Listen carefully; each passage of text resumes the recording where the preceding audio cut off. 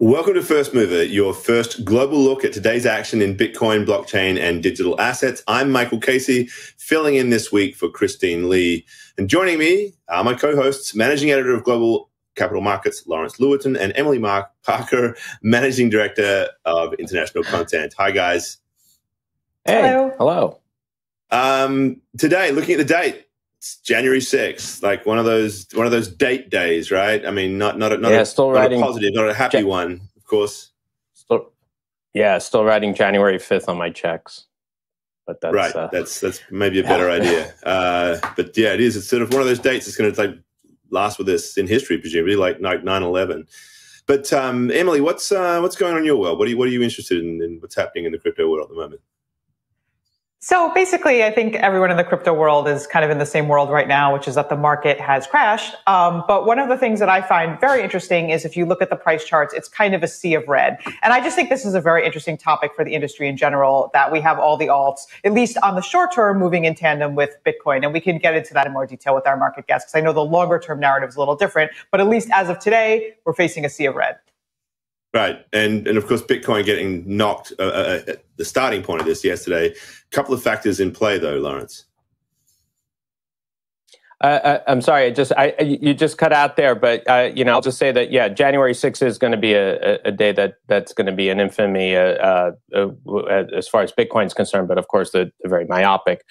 Um, the we we see. Um, you, know, we, we saw this sell off uh, triggered by the, the Fed basically saying that it's going to reduce its.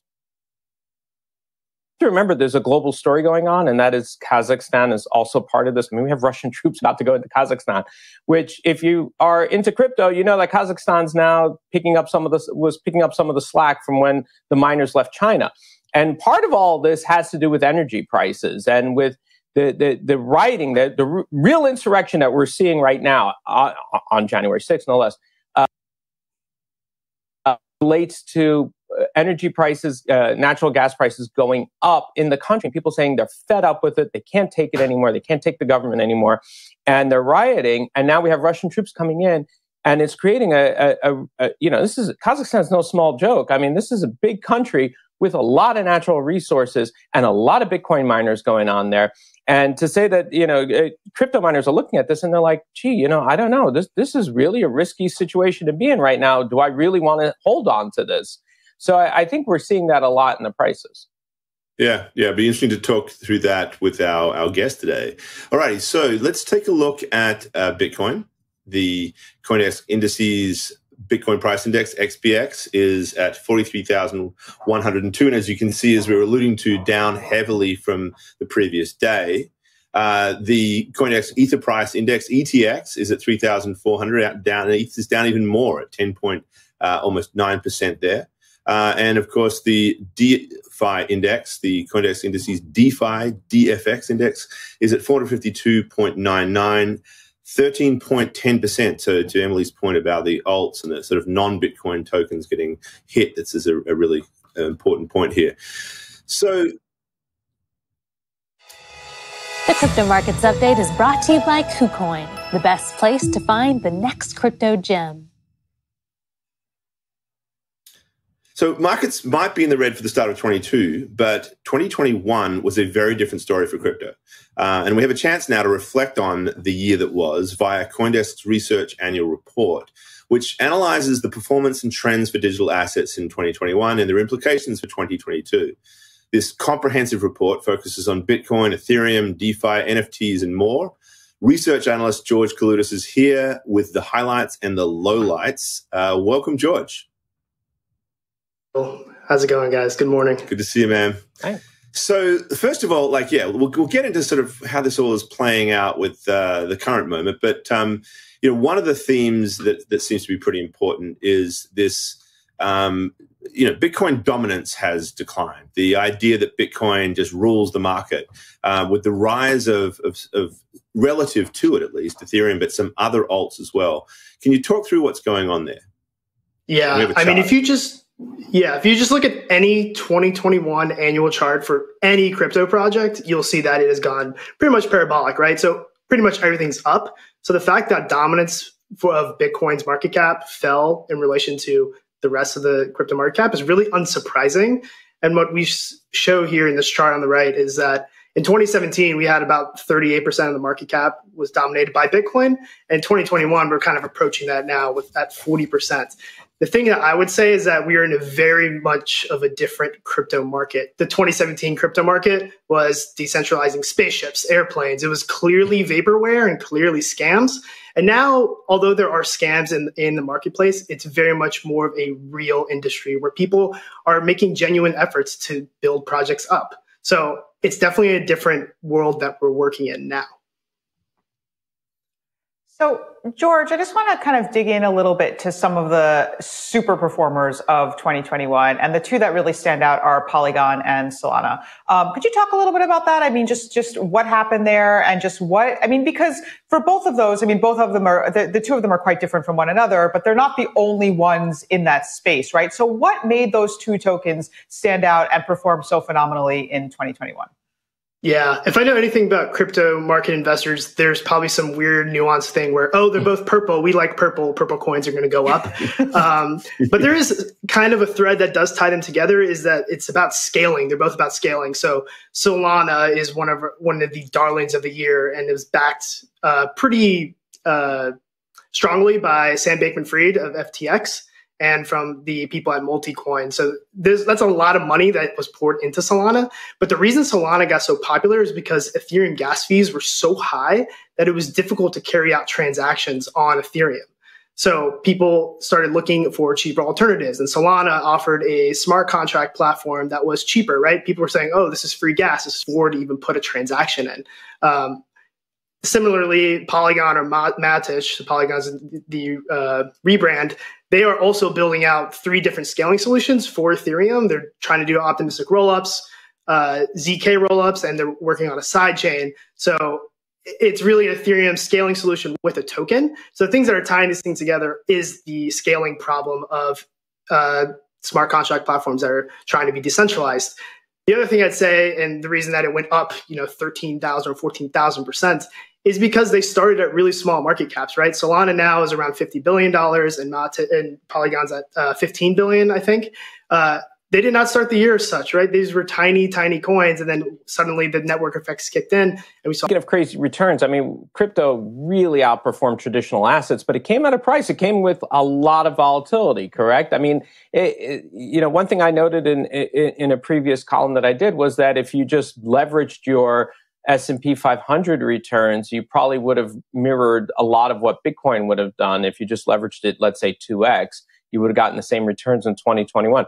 So can you can you talk a little bit about what, what's additional assets? Yeah, Lawrence, I'll raise you one on that one. If you just held Apple stock last year, you probably would have just performed just as well if you held Bitcoin spot. So there is something to be said there about, you know, you could probably have made more money in equity markets if, if you uh, only held Bitcoin.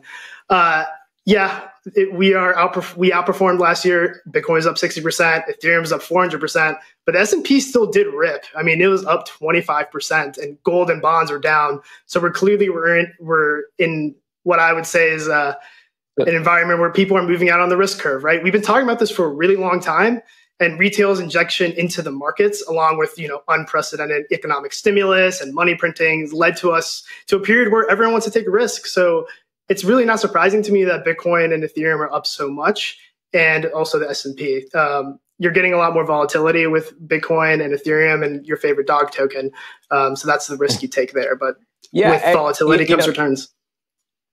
You know, along those lines, I mean, what, what you're saying about gold is that we, it did go down in 2021, and and there has been this narrative about inflation hedge, and yet you did see this extra risk taken on. So, so the whole narrative of Bitcoin being the inflation hedge, it didn't quite play out. Correct?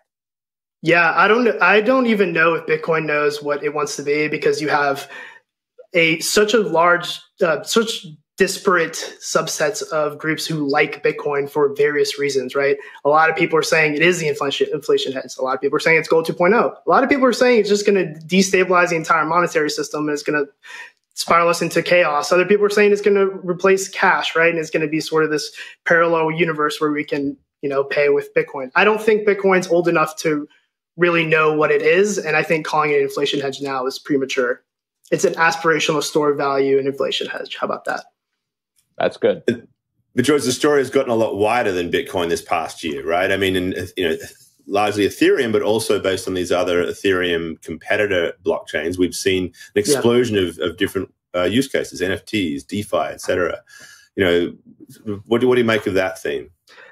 Yeah, uh, I, I, sort of uh, hinted at that when I answered Emily's question about Polygon and uh, Solana. Is that a lot of the new use cases that are coming up are new layer one con- uh, smart contract platforms, right? They're trying to scale these layer ones and make them cheaper and make them more affordable, make them more accessible. And really, that's powering the NFT boom that we've saw the past year. A lot of people heard about Ethereum because of NFTs, not the other way around. A lot of thing, people things that people are building are also, you know, algorithmic stable coins. All those those projects are still pretty early. People are trying to build, you know, EVM bridges that bridge from one uh, chain to another chain, so we can have, you know, this internet of blockchains. Uh, but all that said, my favorite use case, and it's probably unsurprising to people who know who I am, is that Lightning, right? The Lightning Network is what powers Bitcoin's commerce layer. And people are talking about how Bitcoin transaction fees are far too high to enable casual commerce. And I tend to agree. And so to that, people have built a second layer on top of uh, Bitcoin called the Lightning Network, which allows cheap, instantaneous transactions. Uh, that's my favorite use case of the year. I think it's actually one of the somehow. It, it, be, I think because it's such a small country that uh, uh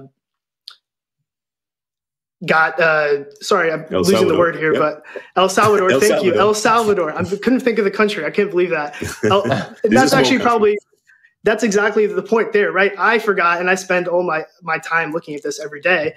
Is that Bitcoin became legal tender in a country, right? But it's El Salvador; it's a small country. But I think it's a big deal, and and clearly the people in the space think it's a big deal as well because we saw the amount of Bitcoin locked up in the Lightning Network go from about a thousand to three thousand Bitcoin, and I think that was spurred on by El Salvador and by people who love Bitcoin trying to build out this use case. Uh, George, let's talk a little bit about hash rate. Um, so one of the huge stories of 2021 was China. Well, China's crackdown is kind of a continuous story, but China cracked down even more, and they cracked down on mining pretty seriously. And so we basically saw hash rate migrate from China to other parts of the world, specifically the U.S. Can you just talk to us a little bit about the hash rate narrative of 2021? Yeah. So China's hit us with, I don't know, the fifth or sixth crypto ban, uh, widespread crypto ban in May of this year or of 2021, sorry, last year. And it was the first time where it felt real, right? We actually saw hash rate fall from about 150 exahashes to 90 over the period of like two or three weeks. Uh, and everyone was actually, there was a sort of a, a, doomsday mentality from a lot of people that were saying that, oh my goodness, this is coming offline and Bitcoin's going to death spiral into zero. Uh, there were people that claimed that people were going to be moving miners from China over uh, to the West, right, to the US. And that was uh, fleshed out over you know the past couple months because we recovered all of that ha- lost hash rate. We actually hit an all-time high by the end of the year at 189 exahashes, and all of the hash rate that was in China, presumably all, left, and it ended up going into the United States, into Russia, and into Kazakhstan. Uh, those are the three big places that it flew, uh, flowed into. So uh, getting back a little bit to what you were saying earlier about, uh, you know, you, you, you called uh, 2017, 2018 a, a, period of scams, but in, in, many ways, those ICOs that that happened were a way for for these projects to get funded. But what's interesting is this year you're seeing a lot more funding happening uh, from, let's say, VCs, private equity, et cetera. Uh, what does that tell us? What what do we? This was a lot of money, correct? Yeah, it's a lot of money. And the fact that we saw over $20 billion of VC capital flowing into these types of companies in 2021, that exceeded uh, 2017 through 2020 in totality. That's crazy. And we're seeing like real, I say real because uh, you know how that uh, is viewed in this space, but real money flowed into the space, right? We have name brand venture capital firms, A16Z being sort of the, the stalwart of it pouring money into these projects because they want to make a return, but also because they think that it has staying power, right? Uh, you see regulators in the, in the Congress are talking about crypto. Crypto is here to stay. And now the fact that people have poured all this money, this VC money in means that there's now an economic incentive, even more so than there was before to, to carry this on going forward, right? At least in the medium term, right? Before it was, you know, retail investors are, were getting uh, screwed, right? They were losing all their money. Now it's big VC institutions with LPs that are insurance funds and or whatever they may be. So there's real money at stake now. Well, uh, so much for this uh, ebullient 2021, uh, George. 2022 isn't looking quite so optimistic. Um, you know, and so let's just talk a little bit about that. Like, I, I, I think the Kazakhstan story to me is a really interesting one because one of the positive takeaways that people had from the way that the hash rate recovered from, you know, China's uh, departure and the, the, the, exit of all the miners and seeking out these different locations was that we would have a more decentralized, less sort of geopolitically vulnerable Bitcoin network because you didn't have this big, you know, authoritarian state that could sort of, you know, pull the rug on everybody. Um, well, you know, uh, yesterday we had a huge chunk, it looks like at least, of, of Kazakh's uh, mining capacity go down because of an internet outage that was driven by a political response to, uh, you know, the, the, rioting and the insurrection there. Um, so can you speak to that? Like, you know, can we be as confident as we were a little while ago that we'd created a more decentralized Bitcoin network? Um, in 2021, with that sort of migration into the US and all those other locations out of China. Yeah, and to hedge against myself sounding tone deaf, I think that Bitcoin mining is not the most important thing that's happening right now in Kazakhstan. People rioting for their rights is actually a far different thing. It's outside the scope of what Bitcoin really should be right now, right? Energy prices going up, that's a big problem beyond just Bitcoin. Uh, but to your point, the fact that it flowed into Kazakhstan is something that uh, hash rate flowing into Kazakhstan was something that when it first happened actually worried me a little bit, right? This wasn't exactly the United States, right? The free world. And they did use a lot of coal uh, energy. That's sort of the grid that is in Kazakhstan. The and I, it sounds like I'm shirking the answer to your to your question, but miners just moved from China. They can move somewhere else, and I think they will. Right. Honestly, uh, being within the confines of a Kazakhstan regulate regulatory environment if it's even an environment, I don't know very much about it, but it's very different than being the US. Yeah, that's a, it's a really good point. The, the fact that like there was that flexibility that they had last year could now apply now, right? There's, there's that we did what the one takeaway really in that sense was that. But of course, lots of other factors in play in Bitcoin we have to get into sometime. You know, the Fed's impact, of course, overnight, a really big deal yesterday and, and what that means for the outlook for Bitcoin. So anyway, George, that's all we have time for. So thanks very much for joining us. That was Coindesk research analyst George Kaloudis. Uh, you can find the Coindesk annual review on our website at coindesk.com backslash research backslash reports. And uh, you can join Coindesk for a special Twitter Spaces event, the Crypto Wars 2022 Battles for Market Dominance. That's tomorrow at 10 a.m. Coming up, the Australian Open goes to the metaverse. But where will the world's number one tennis player be?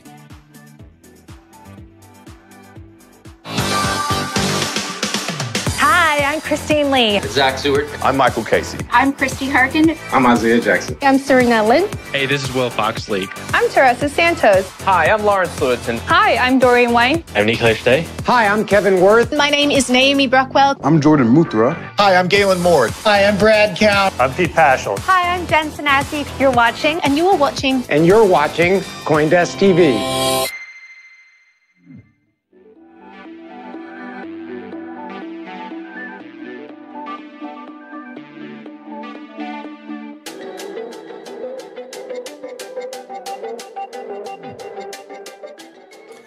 Checking in on Bitcoin again.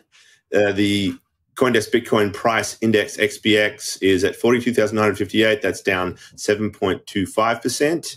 And the Coindesk Indices uh, Ether Price Index, ETX, is at 3,393.38, uh, down a whopping 10.79%. And the DeFi Index, the Coindesk uh, DFX, is at 452.99. That is down 12.94%. Okay, in the spotlight today, uh, the, the sorry. The Coindesk Spotlight is brought to you by Nexo, the place to earn on Bitcoin, Ethereum, and more. Alrighty, in the spotlight today, the Australian Open tennis star Novak Djokovic and the metaverse. Australian government authorities yesterday cancelled Djokovic's visa to enter the country. The tennis superstar thought he could play in the games with a medical exemption to get around vaccine requirements, But now he's holed up in a quarantine hotel in Melbourne, awaiting a court hearing in uh, his fight to overturn the ban on his entry. This must come as somewhat disappointing news to our new guests who are taking the Australian Open to the metaverse. But it also raises interesting questions about how real world rules and problems will play out in this strange new digital arena. Joining us to discuss their project is Ridley Plummer, Australian Open Metaverse and NFT project manager, and Adam De Cata of Run It Wild, blockchain studio and metaverse specialists. Welcome, guys. Hi, Michael. Thanks for having us. Good to have. We've had uh, two. We've had Aussies now twice on the show this week, and so um, I'm feeling like you know this effort that we're making to take over the world is is uh, is making some progress. So thank you for helping me in my in my crusade to uh, to co- colonize uh, certainly the crypto world. Absolutely, we'll take over eventually. Eventually, yeah, it's a subtle it's a subtle takeover. T- talk us through what this is all about. What is the user going to experience? through you know the metaverse and NFTs and the and the Aussie Open? Yeah, so the Aussie Open has has been known for a long time as being one of the the most innovative and forward thinking Grand Slams or or sporting events globally. So it was kind of a natural progression for us to to move into the next space, which we decided was the metaverse. And what we wanted to do was was create as as replicable representation of Melbourne Park as possible. So we chose to to jump straight into Decentraland and and recreate every element that we could of Melbourne Park. So when someone visits in Decentraland, they get so many elements and more than they can actually get in at Melbourne Park. So they can see live vision, they can see behind the scenes vision, they can access areas that they can't otherwise access in real life. So we wanted to replicate as much of the on site experience as possible. And then with the NFTs, we wanted to engage with the tennis community and the NFT community in a way that hadn't been done before. And it was really important for us to create a groundbreaking NFT that no one had done before. And we were using our data and our technology and our abilities to, to bring those together with sport and art to create what we think is a real game changer in the NFT space.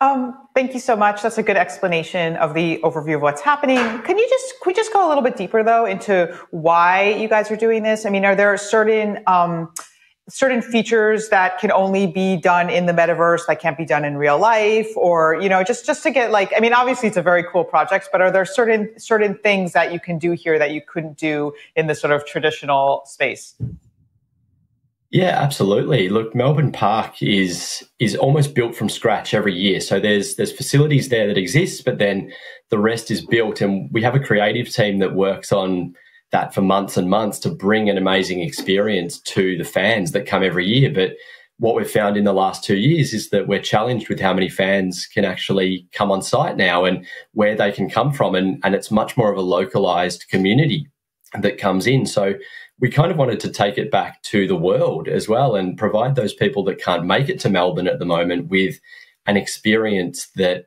is as close as we can possibly get to bringing them into Melbourne Park and giving them that on-site experience. And as you said, there's there's going to be things that they can do in Decentraland uh, where that might be gamified, or they might get access to vision that you can't otherwise see on your free-to-air television or on your um, well, on site when you're at the Australian Open. So we wanted to ensure that that people had value when they came in, and the event goes for 14 days. So what we do at the event in real life is is try and draw people back day day and day after day. So whether they come on day one with their family and their kids and they explore the the ballpark and, and have fun with the family, or, or they come back two days later as a, a couple on date night and have a glass of champagne and dinner at a fancy restaurant we want to draw people back time and time again, and we need to provide an enormous amount of content to do that in the virtual world. And we're extremely fortunate that we have 50 years of archive footage in, in the can to replay to people that they probably haven't seen before. We've also got a huge content team throughout the Australian Open that's producing an enormous amount of content day in, day out that we'll be able to pipe back into Decentraland as well. Um, maybe Adam, since you know you're there, presumably like laying out the design of this and how it all works, you can tell us a little bit about what that content looks like, though, because I mean, sh- surely you're not you're not sort of wrapping all the players in live action capture suits and things like that, right? So, not going to be watching live avatars playing against each other, or, or are you? I mean, how, what is the what is the visual experience here if you're actually watching live tennis? Is it just a video feed, and why wouldn't I just go and you know watch that on my TV? There's a video feed that's live streaming in, but there's also a whole heap of other content to complement it all. Um, there's obviously gaming, uh, gamified aspects, but there's also a uh, question and conversation around um, Decentraland and other metaverses and virtual worlds being social platforms that are no different from Instagram, Facebook, Twitter, you know, uh, TikTok, Snapchat. Um, you could say the same thing about all other brands and how they uh, use social um, social platforms to connect with different communities. And here um, we've got the Australian Open and their metaverse strategy that's connecting to a crypto native community. So, Adam Ridley, I, I mean, we ha- happy New Year first of all, but second of all, uh, you know, as Michael alluded to, uh, Novak Djokovic is not playing, or looks like he might not be playing. Does that if you have a big name, a big draw, who won't be able to or might not be able to uh, play in the in the actual Australian Open. Does that affect demand for this? I mean, can he do it virtually? Can he play virtually from his hotel his hotel room, and maybe that that could uh, offset some of this? I mean, like what what do you do in this situation? I mean, how, I, what can change? He, he doesn't need a, a, he doesn't need a vaccine in in his hotel, I assume. Look, if Novak wants to join us in Decentraland at any point, he's uh, he's more than welcome. Absolutely. Uh, look, we're used to situations like this popping up in January. I think we expect the unexpected every year when the Grand Slam comes around, and we know there's going to be players that are, are injured or aren't able to attend for one reason or another.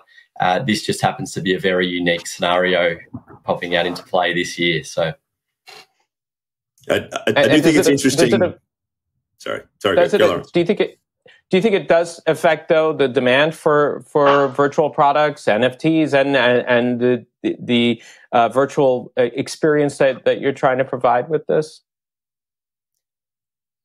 Look, no, I don't think Novak uh, competing or not competing or or being turned away to go home uh, because he doesn't have the appropriate documentation affects how many people will get to come into Decentraland. I think we've we've done a great job of promoting this to the community, both the crypto community and the tennis community, and we'll continue to do that in the next two weeks leading up to the event. And uh, yeah, I, I, think we're going to see a good good crowd and a good attendance in the event too. I certainly do think it's interesting that uh, you know he, he has trouble uh, with the permissioned world of the Australian Open, but the permissionless world of the metaverse may be a different experience. And so, interesting to see where all of this goes. Very early days, of course, in the metaverse. Good luck to you both, uh, Ridley and Adam. That was Ridley Plummer and Adam De Cata. Coming up, Congress plans a hearing on crypto mining. We'll get the latest from Nik De. Hi, I'm Christine Lee, host of First Mover and all about Bitcoin. You're watching Coindesk TV.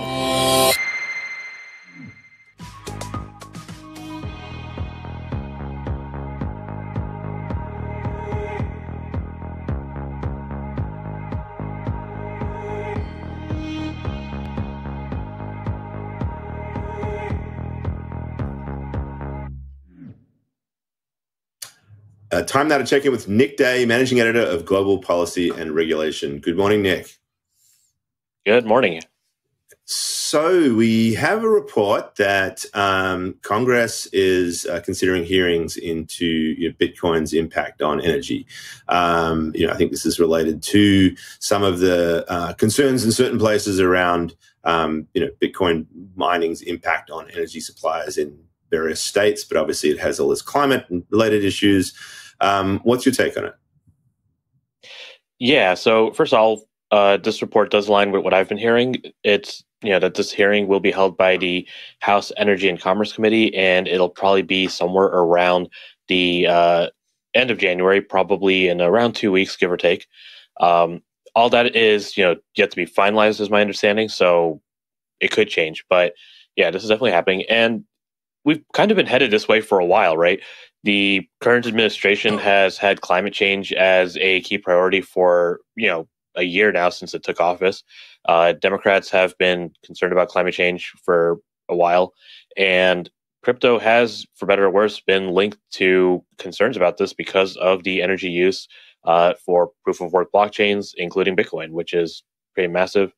Uh, we've been hearing reports from you know various states where you know New York is one of the examples being given where coal fa- uh, coal plants are being resurrected to power Bitcoin miners uh, rather than allowed to remain in retirement. So, uh, yeah, this is definitely going to be a you know hearing that we'll have to pay attention to because this has been a concern that's been growing. I mean, what what are they what are they gunning at? You know, this is a discussion we had offline earlier. Was um, the U.S. is relatively speaking a clean energy producer. I mean, are, are they trying to drive crypto mining offshore to, to countries that will use even more coal and and just more environmentally uh, catastrophic sources of energy? Or are, are they going to say, well, at least if we're going to use the energy, might as well use it in a place where we have more renewables than, say, Kazakhstan?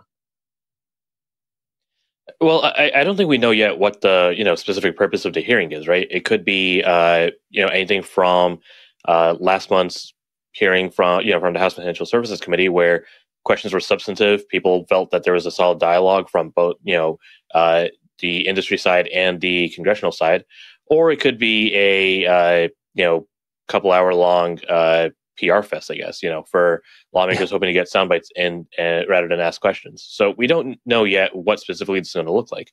But also, um, you know, it could be, uh, while there are some places in the US that power crypto through renewables. The fact is that there are definitely more than a few power plants that run on coal that, or you know, other less than clean power sources that have been brought back. And even if they are in a you know minority in the U.S., they are getting headlines, and so it's only natural that Congress is going to want to take a look at that and be you know say what's going on here.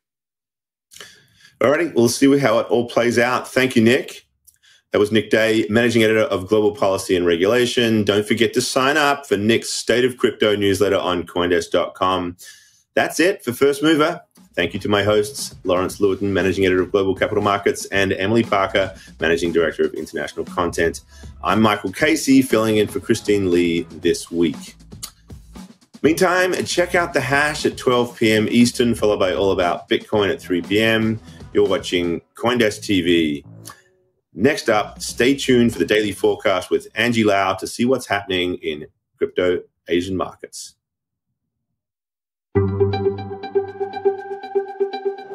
Welcome to the Daily Forecast, January 6th, 2022.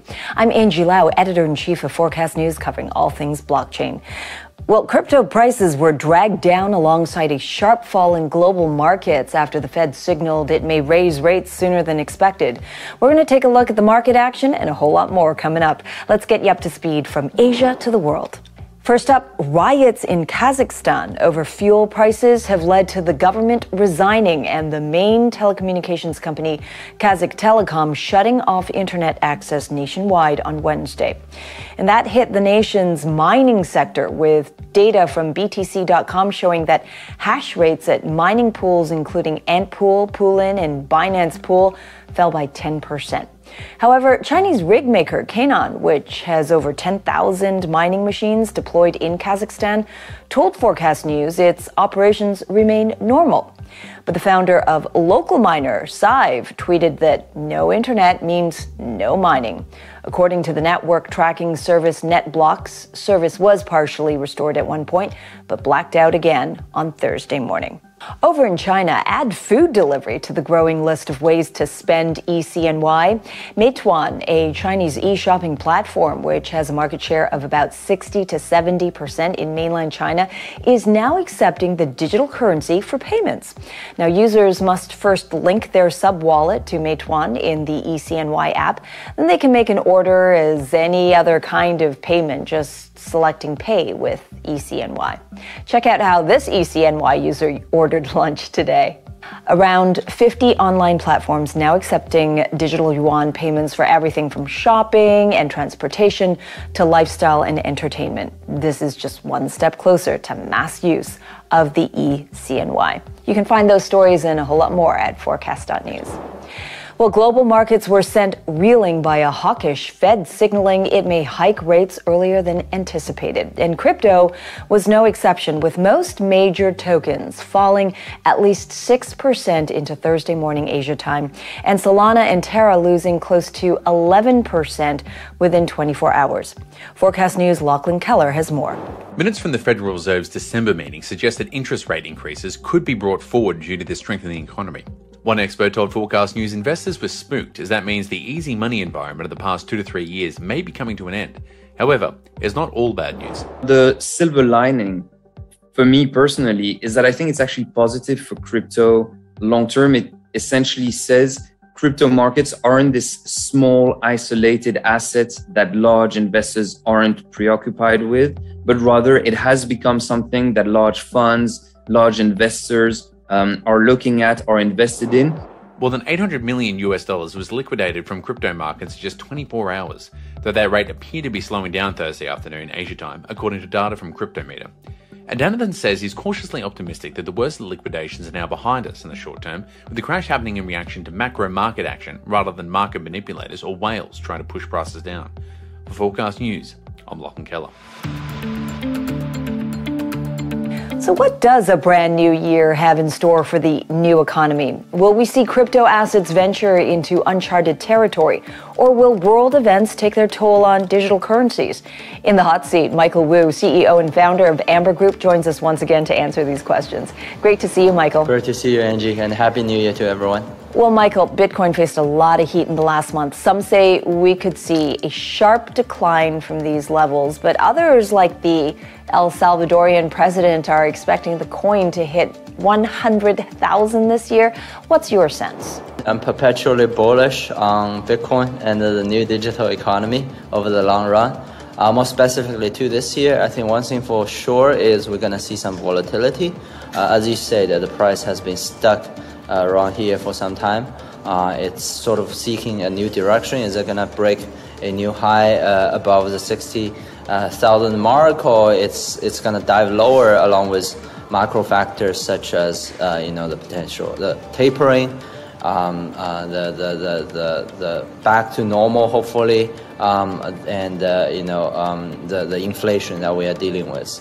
Uh, so I think uh, volatility is actually not a bad thing uh, for the market at all, uh, as long as risks are properly managed. Um, I, I, do think you know if we do see some uh, some volatility in the crypto asset early on this year, that might set it up uh, well for another big bull run uh, in the later half of the year. And so, if that's the situation as you see it, it could mean that 2022 could be the year of mass market adoption of crypto products. I mean, we've heard from NYDIG, which recently raised over a billion US dollars. They expect a thousand banks and retailers to sell crypto related products through them. And these, these are kind of pretty big numbers. Do you think we're going to see massive mainstream adoption for this year? I do think uh, crypto is going beyond that just this niche uh, uh, user base of uh, traders, speculators, or engineers. I think with products like Whalefin, which we launched at the end of 2021, are, are targeting to make crypto or crypto-enabled financial services more inc- inclusive to the mass market users, so that you know without uh, too much knowledge uh, without being too sophisticated at crypto or finance, they can still enjoy the long-term benefits of the asset and of the technology. Um, in the institutional land, uh, I think we have seen a lot of ongoing uh, adoption since mid 2020. Uh, I don't think that trend will stop or, or, or, reverse at all. Well, before we let you go, very quickly, Fed is unwinding and it's been discussed extensively. Do you think that this macro event is going to really extend what we're going to see in 2022? Uh, I certainly think it will play a major impact on uh, all asset classes, including crypto. If you look at uh, uh the, the old gold before the digital gold. Uh, gold prices has been sideways for a year. Um, Bitcoin prices has completely decoupled uh, from gold prices. Now, if Fed does start to uh, uh, taper and uh, uh, there's a, a, interest rate normalization expectation, um, I, I, I, think you know there could be again you know an, an initial convergence of the two assets, and then uh, over time, of course, you know if volatility does increase. I think you know um, actually Bitcoin potentially can act more like a, a, a risk haven assets again, similar to gold, versus right now as it stands, it probably trades more like a, a, a risk asset that uh, correlates more with equities and the like. Well, safety haven or risk, whatever it is, it is shaping up to be one interesting year ahead for the new economy. Michael, thanks a lot. And that's the daily forecast from our vantage point right here in Asia. For more, visit forecast.news. I'm editor in chief Angie Lau. Until the next time.